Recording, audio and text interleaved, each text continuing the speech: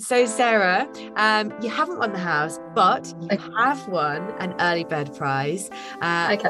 it's so great. I love my job. I'm basically going to tell you, Sarah, that you've won a fabulous £50,000 in cash.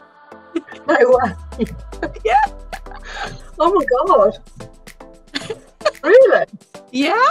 What, what, what do you think £50,000 will mean to your life? I don't know. I've got three teenage kids, so a holiday. I don't know. I'm fine. Gosh, where would you take them? I don't know. I like going to Norfolk, but I expect they will want to go somewhere far further afield now.